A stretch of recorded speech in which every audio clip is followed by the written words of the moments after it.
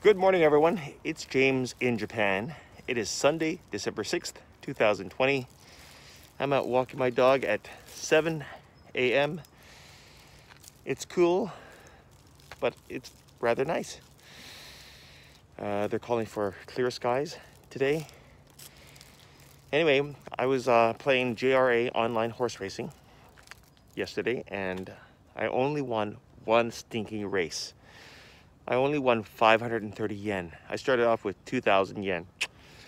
Not a good day, but uh, I already started betting this morning. There are three races being held.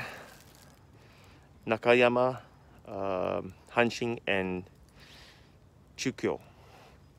Yep, yep. So I've already betted up to the third race. I hope to win big. Oh, by the way, I'm near the lottery monument, which is over there. I hope that we all win big. There's someone behind me.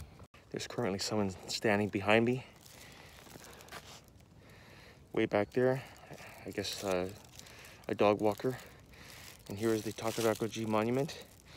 I'm praying that we all win big tomorrow. Thanks for watching, guys. Better move on. Bye.